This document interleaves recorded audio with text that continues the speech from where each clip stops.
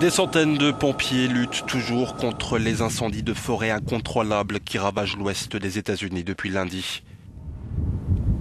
Rien que dans le comté de Lake, une zone touristique située au nord de San Francisco, ce sont plus de 2000 hectares de forêt qui sont partis en fumée, entraînant l'évacuation de près de 500 habitations et de nombreux ranchs de la région. Pour venir en aide aux habitants, la Croix-Rouge a mis en place un centre d'hébergement. En Californie, les autorités ont aussi annoncé l'ouverture d'une enquête pour tenter de déterminer les causes exactes des incendies.